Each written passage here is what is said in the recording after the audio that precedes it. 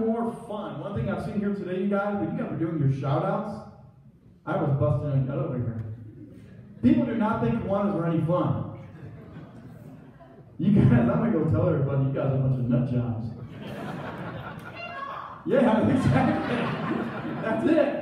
If people knew that was Kiwanis and the, the fun interaction, you got to relax and this thing rolls and it's a party and fun. Yeah, you're doing service, you're loving, you're doing community, you're doing all that stuff. But if people knew you had this much fun, you guys would have this place jammed up.